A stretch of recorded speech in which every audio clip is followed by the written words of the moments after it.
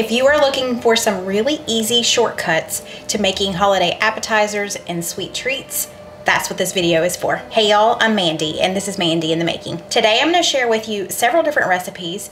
Some of them are completely homemade. Others are taking some pre-made things and turning them into homemade. To get started, I'm gonna be making some cookies so they have time to cool so that we can frost them and put sprinkles on them and all the fun things. The great thing is, the cookies are already made for me. We are going to make some wreaths out of sugar cookie dough. It's very simple, but it's gonna look pretty homemade. I'm just gonna follow the directions on this and bake them as normal. However, cut them to about a half inch and we are going to set these to the side for just a second and we're gonna cut holes in the middle of them. He's over there eyeing me like, what are you doing? Semi-homemade cookies. You ready for it?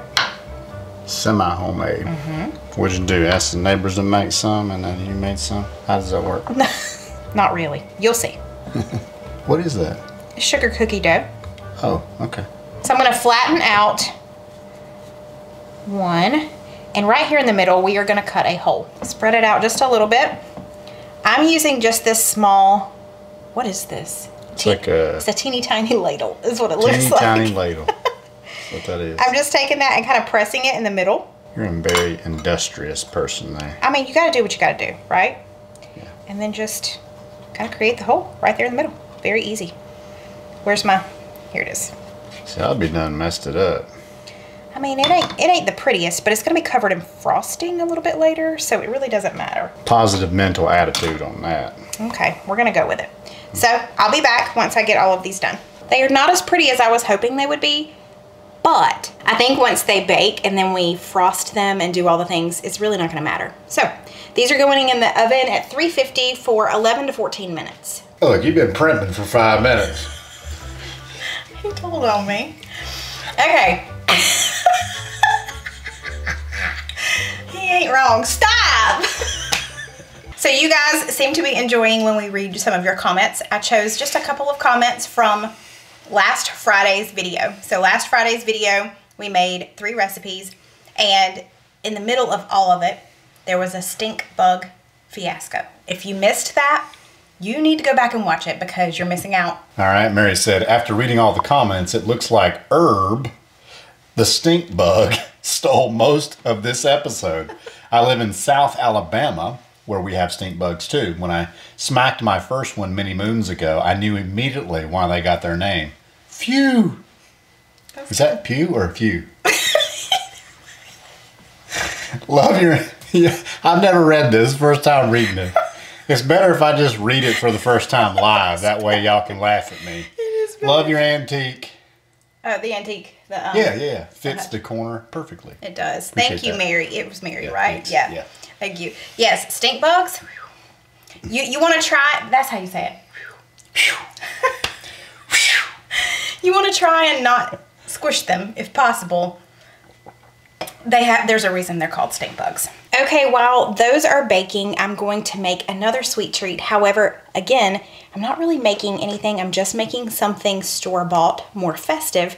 So it looks like you put a lot of time in, but you really didn't have to. I don't know about y'all, but I love these cookies. And today we are just going to dip part of these cookies into some candy coating that I'm gonna melt in the microwave. I'm also gonna add some food coloring to that candy coating it's gonna be good. So I just got this vanilla flavored candy coating at the grocery store. It's the microwavable tray kind. So I'm just gonna follow the directions on the back of this and go ahead and melt this. Okay, so this is melted completely. You could just leave it like this, but I'm gonna add some green food coloring to mine. I've already got it all over my fingers because that's what we do, right? That's why I've got this uh, paper towel under here. I don't wanna get it everywhere, but chances are, okay, well, I wanna open. There we go. All right, I'm just added like three or four drops. Let's stir that in. Okay, that's a little too soft of a green for me. This is personal preference, of course.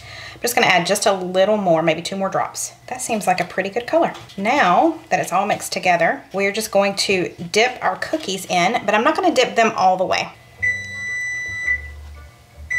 My cookies are ready. put them over here on this wax paper to let them kind of set up. This time I just did it kind of on the front and not on the back as much because it won't stick to the paper as badly. Okay, let me go grab those cookies out of the oven. Okay, the cookies are out of the oven. I haven't showed them to you yet. I will in just a minute. We're letting them kind of cool over there, but I need to work on this before everything kind of hardens back up. Let me get these all dipped in here and I'll see you back in just a second. Now I'm just gonna add some sprinkles. I don't understand how these are supposed to come out. Do you see that? I feel like the sprinkles are larger than those holes. Yeah, I've, I got one. Does this whole top come off? Okay, the whole top doesn't come off completely, but you can do this. So that's what we're gonna do. So I'm just gonna go in with my sprinkles and just add those to my candy. There's like cookies in here. Don't come in here. Surprise? Nope, just don't. Oh. okay. You'll see why I told him not to come in here in just a second. Festive cookies that took me about five minutes to make. I mean, it doesn't get much better than that. And those are gonna be cute on a tray served at a party or a get together. Now I'm gonna let you take a guess as to what happened to my cookies. I had a feeling it was gonna happen, but I was really hoping it wouldn't. The middle kind of closed up. This is why I didn't want Steven coming in here because I know he's gonna laugh at me. You ready? Let's do it. Y'all, look at these pitiful little cookies. Now some of them completely closed in. I got them all off. I'm gonna let them cool a little bit. It's not gonna take long because they're pretty thin. One, of course, had to be kind of sacrificed as the first one. So it volunteered as tribute. I'm just gonna eat it. It's it's okay. It's it's falling apart. But let's see if we can salvage these. Do you think we can do it? So this is tricky. I don't recommend this. I highly recommend that you bake these at the normal thickness, and I think this would be a lot easier. This may be a fail. These are crunchy cookies. I'm not a huge crunky, crunk, crunky, crunky cookie, crunchy cookie fan. I made these a little too thin but it's working. So let's chat about it. If you're new here, I am not a baker. I do not pretend to be. This is why I was trying to go the easy route and you see that obviously my skills don't even don't even equate to doing pre-made sugar cookies very well. I think the idea is great, but those of you who are bakers who could give us some pointers on maybe how to do this better, feel free leave in the comments below. I would appreciate it, and I'm sure others would too, because I think the outcome is going to be really cute, and I think they're going to taste just fine.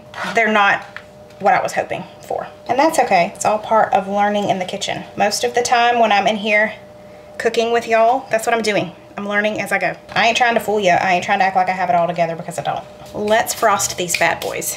So I've got a tub of vanilla frosting. You could just do white frosting if you wanted to. You know what? Hang on. Get my little spreader tool here. I don't need a ton of frosting on here. I'm just wanting something for the sprinkles to adhere to. That is as good as she gets. Now you could definitely uh, tint this frosting if you wanted to as well, but I'm just going with the sprinkles this time instead of uh, coloring my frosting. But I'm just gonna go through and do this. This would be a great project for little ones if they want to help in the kitchen. You could do the frosting because you don't want them to press too hard on the frosting and break the cookie but then let them put the sprinkles all over the top that would be fun so you know what I'm pretty impressed I pushed through adversity and we made them they may not be the prettiest ever but you know what they're festive they're fun and they're semi homemade right I didn't finish these because I was starting to run out of my green sprinkles. So I'm probably going to finish those with just regular colored sprinkles. It doesn't matter. They're not going to be as festive. But so just make sure you have plenty of sprinkles on hand if you are doing both of these, either of these really. But I think these are perfect too. And these were super easy. These, I'm going to be looking in the comments for some suggestions of how to better do those. Okay, I'm going to have Steven come in here and see what he thinks of my festive cookies. I never did let him in here to see the Hot Mess Express earlier. So we'll, we'll, explain that to him. Yeah, come on in. He's like inching oh. in here. Oh. Look at that tray of cookies. That looks delicious. I haven't seen a tray of cookies like that in a long time. Can I have one? Yeah, go ahead. I'm here reaching. Wait, wait, wait. Oh. I need to take a picture first. Oh, yeah. Okay, hang on. I'll be back.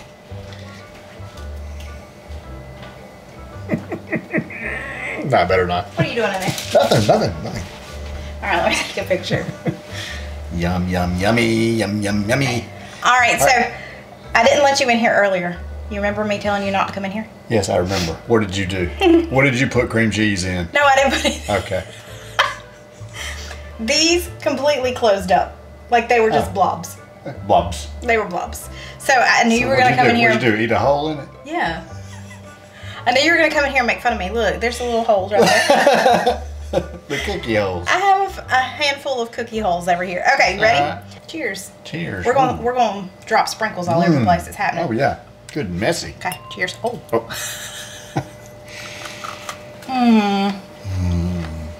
So good. I like the candy coating on this. Mm-hmm. I love the holidays. Merry Christmas, y'all. I love the sugar cookie- cookie. Mm-hmm. With the icing. There's sprinkles all over my floor. Mm. It's part of baking, right? Making a mess. We have a festive floor in the kitchen. Try one of these. Mhm. Go ahead. Some kind of wafer with something. I didn't make those. Oh, what did you buy? I bought the cookies, but then I dipped them into Oh. candy melt and put sprinkles on them. Pretty smart, huh? That is pretty smart. Got some chocolate in there. Mm Mhm. You got some in your beard. Stop. What are you doing?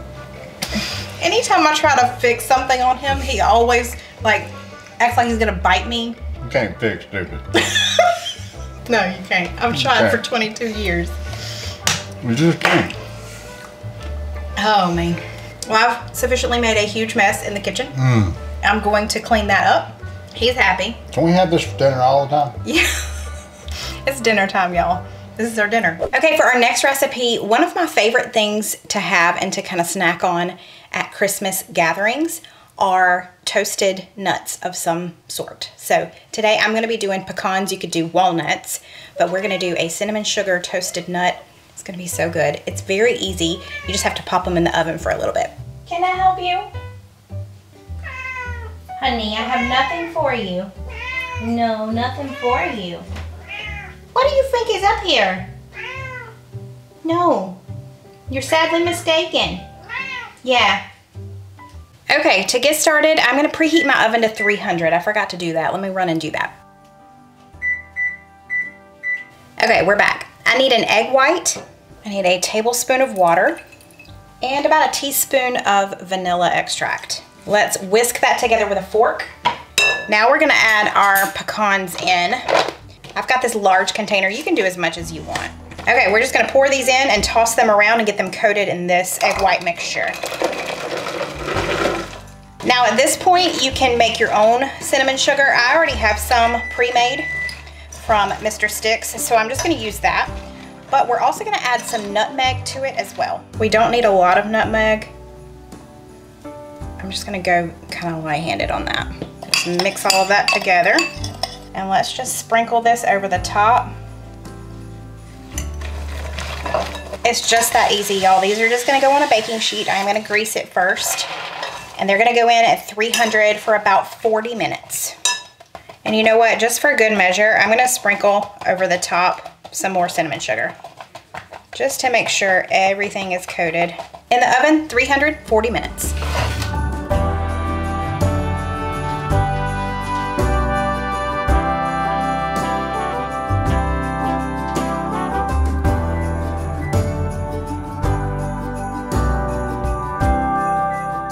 Okay, my pecans came out of the oven.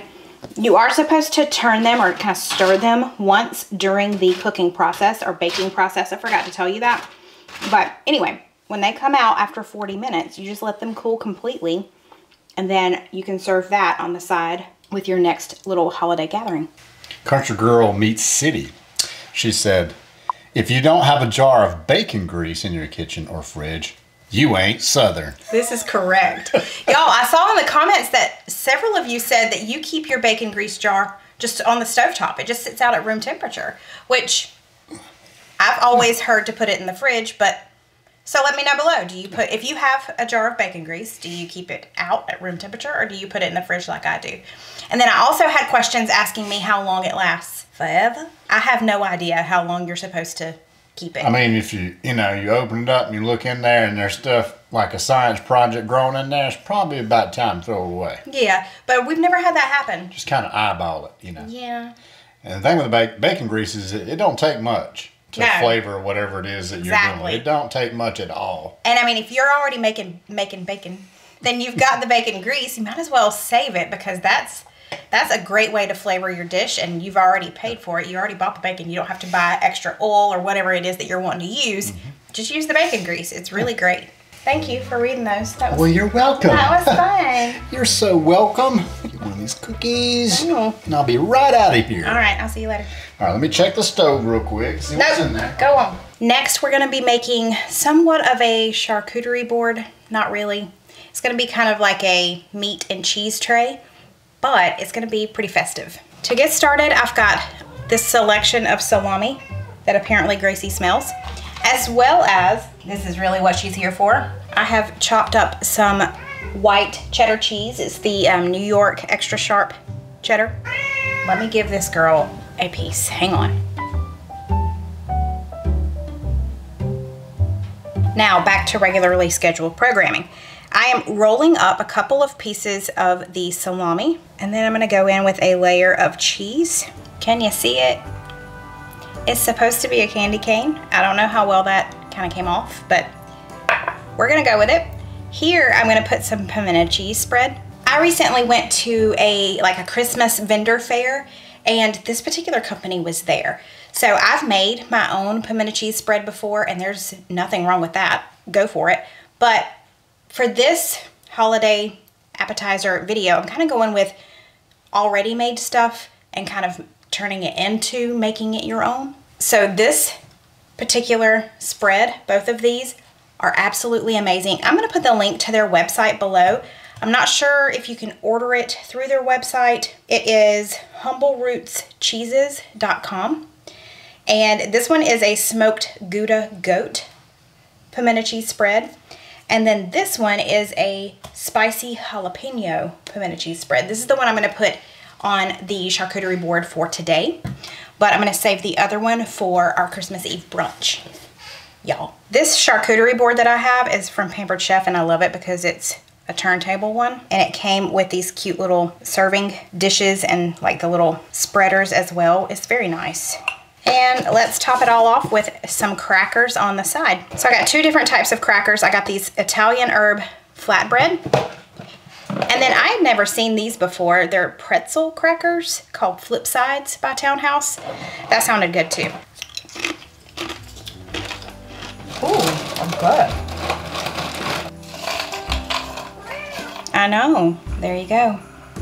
A cute little festive tray to put out at your next holiday gathering. Isn't that adorable? I had not called him in here yet. Come on. Oh, What's it look like? it looks like a charcuterie board. Yeah, but what does it look like? It looks like cheese and crackers. Is does the shape come out at you at all? Oh, looks kind of like candy cane. Very good. That's why I'm the eater. That's why I eat. All right, let's get into some No, of this. no, no, I can't. Because I need to do the. Because I need to do like the overview of all the food together Okay. here in a little bit. Oh, but you can taste this. You got a little is- chocolate covered pecans. No, they're not chocolate covered. not they're just chocolate. they're just toasted. They have cinnamon Look sugar. at on them. It's like a pecan cookie. Hmm. Mm-hmm. I don't love my pecans Pecan. pecan. I don't love my pecans super sweet, so I didn't put a whole lot of cinnamon sugar on mine. Just a touch. Yeah. If you like yours coated more, feel free to knock it out of your husband's hand.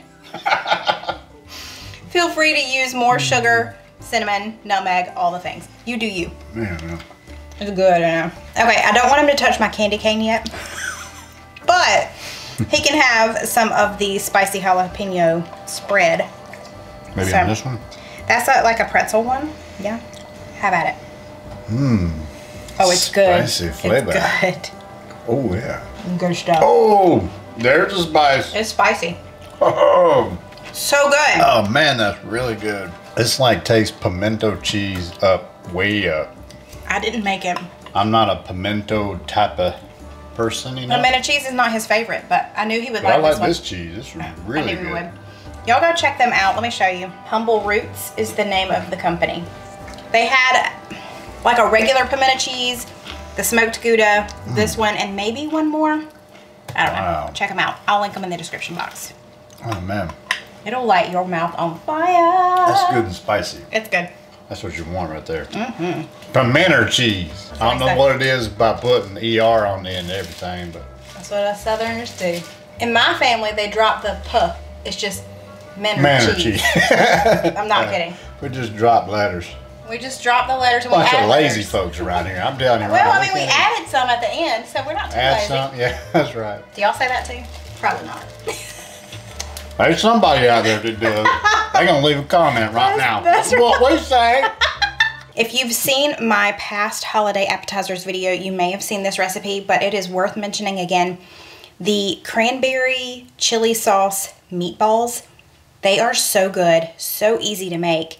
I used to make my meatballs with grape jelly and chili sauce, but not not since then. Now I use the cranberry sauce and the chili sauce. It sounds weird, but I promise you it is so good. This is all the ingredients. If you can't find chili sauce or if you don't like chili sauce, you could always just replace it with barbecue sauce. I don't have an entire jar of this chili sauce, so I may actually throw some barbecue sauce in here with it just so I have enough. And now let's just pour in our cranberry sauce and let's mix it all together.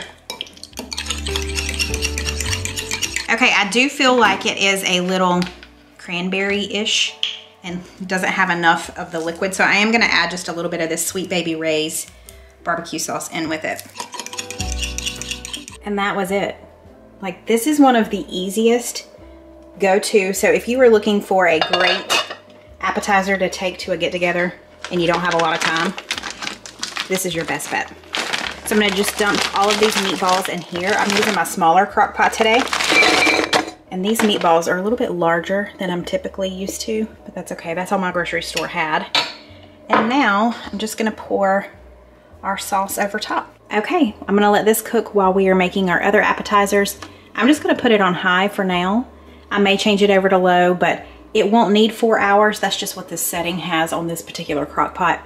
It'll probably just be a couple of hours. So this is definitely better than doing the grape jelly. I think the grape jelly just, I don't know, it's just way too sweet Okay. for me. I mean, I didn't know what I was missing until I tried this. so- Right. This last savory dish we're making are just little mini quiches, which are perfect for your holiday party that you're going to. We're going to be using pie crusts, refrigerated pie crust. So we're kind of cheating and acting like it's all homemade when we're using this. But I need to let this come to room temperature and grab all the other ingredients. Okay, so we are cooking about a half a pound of sausage. We had some left over, but we had really mild sausage. That's all my grocery store had. So we're adding some seasoning. Steven is adding some Italian seasoning, and I think we're gonna throw some red pepper flake in there too, just because We're gonna doctor it up a little bit. we are. Just because that's what we enjoy. We like a little bit spicier. So if your grocery store only has the mild sausage and you want to add some more flavor, definitely just add in some Italian seasonings and then a little bit of spice if you need it. Okay, while he is doing that, I am going to preheat our oven to 425. Here to this somewhat large glass bowl. If you have a glass bowl that has a spout, even better because you're going to be pouring these into your little muffin cups in just a little bit. You're going to take two eggs and lightly beat those. Beating the eggs. Beat them eggs. Beat the yolk out of them. Okay, we've got two thirds. Nope, that's three fourths. You said two thirds. Yeah, but it's three fourths. I need three fourths. Tell me. That's three fourths. Oh, mm-hmm. Okay, let's. I can't measure. Okay, I just do this. Please drink it. Please drink it. Please drink it. Yes. I took a little sip. It was good. That was two thirds. Yeah, I think that's self-rising milk. You let it sit there for a little bit and it, It was- rises yeah, up to okay. three quarters. okay. I took a little sip out of it. It'll be okay. It's just us eating this. Do not freak out, please. Okay. Two thirds a cup of milk. Somebody's gonna freak out. Oh Somebody's gonna have a cow. Mandy! How dare you? Want me to stir this up? Yep. Now I've got some green onions that I've already diced up. You can leave the green onions out if you don't like onion.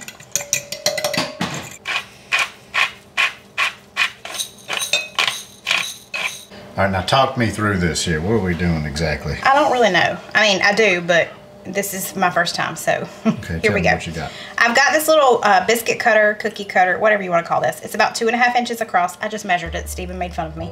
Um, She got the tape measure out. You can use a tape measure. Shut up. okay. So now we're just going to cut little circles out. And I've got a mini muffin pan over here. That's kind of fun looking. Let me try that. And I'm just going to press these down in here. Look at there. I left a little notch in it. It'll be all right. Golly. Okay, so now we're just gonna go through and get as many of these as we can. You gotta be really careful with it because it does want to tear when it goes down in there, so don't press too hard. You see I tore that first one. I don't know if you can see that or not, but I did. Steven's gonna do the cutting and I'm gonna, This is where you get the kids and grandkids involved. there right you here. go. And I'm gonna put them in here in the little mini cups. Grandma be proud. She would be proud, She's like, look at there. except for the fact that I'm using pre-made pie crust. She'd be like, what's that about? Yeah, she would be proud of you. She'd be proud of me.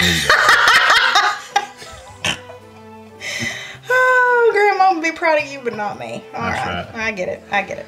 She'd say, she needs a whooping. I have to say, Steven did a really good job because you're supposed to get 12 from each one, and we did. I aim to please. I'm telling you what, you did a good job. That's right. Teamwork makes the dream work over here. It's kind of fun. I'm having a great time. Kind of like Play-Doh. It is kind of like Play-Doh. You know, playing with Play-Doh. Yeah. That's what it feels like. I'm easy to entertain. Okay. Babe. I've Look at you over there. You're doing a good job. I've gotten pretty quick over here. Yeah. You gotta be quicker than that. Gotta be quicker than that. Just love that commercial. That commercial tickled me. You gotta be quicker than that. And just one more. One more. Look, Look at, at that. Uh, I am impressed. Yeah. Boom. Let's go. We Look did good. that. Look at all that Play-Doh. What are we gonna do with this? There was a gnat. Go away. Look at that. We can make something out of that. What are you gonna you gonna play with Play-Doh while I cook? I just wanna I wanna look like I'm doing something smart with it. Like knead it. Okay. All right, I'm gonna press pause and you keep playing, okay? Okay. Okay. While Steven stands there and plays with the remaining dough, I'm gonna put just a pinch of our sausage down into each one. Y'all, I gave him one job. Bless his little I put heart. too much of the meat in there. So I walked over because my camera, my memory card was too full. And I said, just put a pinch of meat in there. And I came over and these things were overflowing with meat. So you thought I'd kill somebody. I said, babe.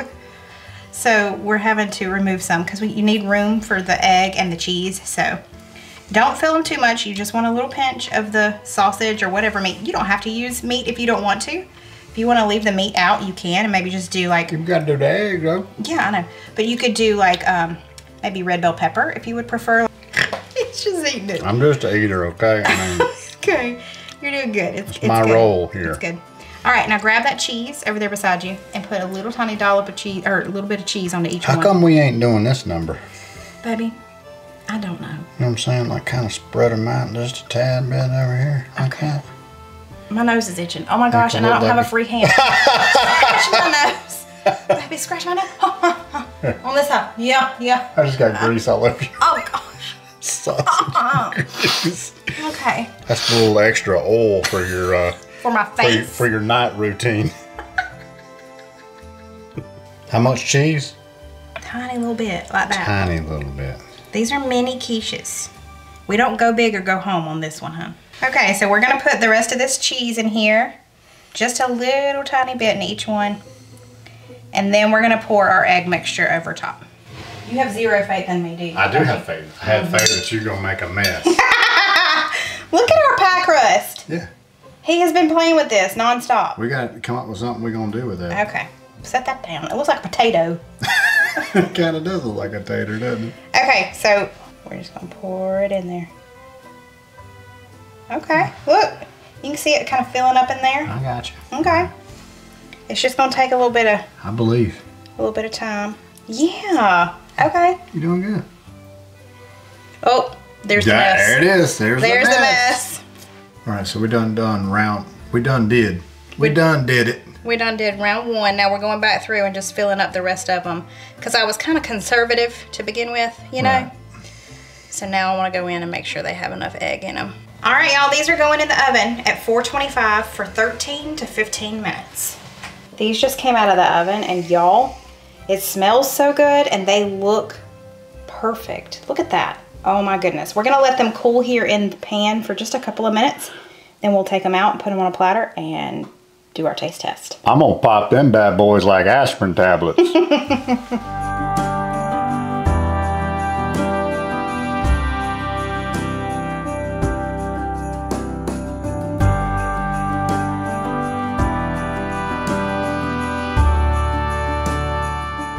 Little mini quiches. they look so cute. Ain't they cute? Yeah. They are. All right. Here we go. Cheers. Hot. Mmm. Oh. Mm-hmm. But good. Mmm. Mmm. Perfect little quiche. quiche. Yeah. Perfect little quiche. These are so good. It's like the the crispy, kind of a crispy crust on there. Crispy and um Crumbly. flaky. Oh, flaky. Flaky. Crumbly, flaky, crispy. What I learned from doing the quiches. Don't ever fill them.